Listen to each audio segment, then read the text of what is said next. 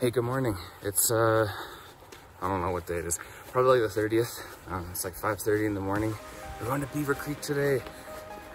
The snow hasn't been super great this year, but there was a little bit earlier this week. So maybe, maybe it'll be good.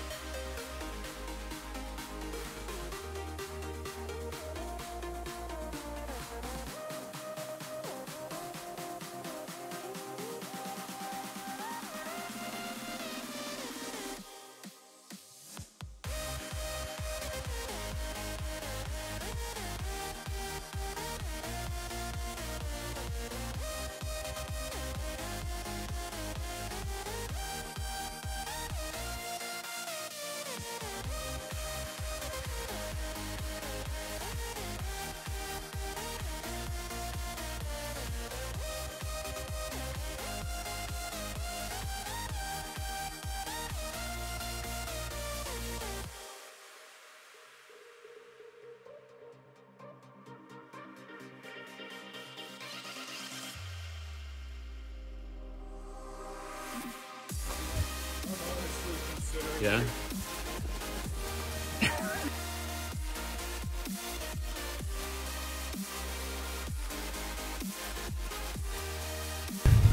so I didn't want to set the camera up again, but look at this. there wasn't supposed to be any snow today. This is awesome. I mean, it sucks for driving, but it's gonna be an awesome day on the mountain. I cannot wait.